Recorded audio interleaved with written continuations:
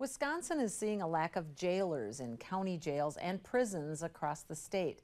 WEAU's Melanie Walzer shares how staff at the Eau Claire County Jail are being impacted by the shortage and what's being done to help. According to the Wisconsin Department of Corrections, the state's prisons are dealing with a 32% staff vacancy rate, a trend that's also being seen at the local level. We're budgeted in the 2023 year for 63 correctional officer positions and we currently are 15 short.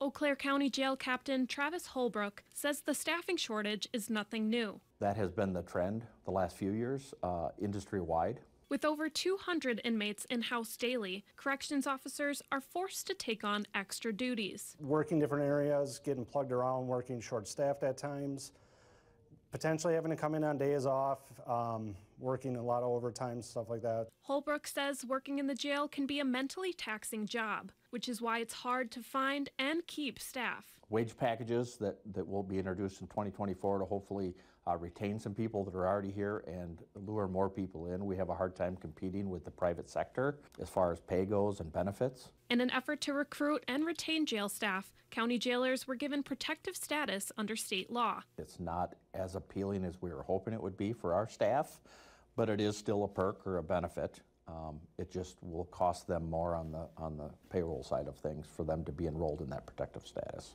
The law will go into effect on January 1st, 2024. In Eau Claire, Melanie Walliser, WEAU 13 News.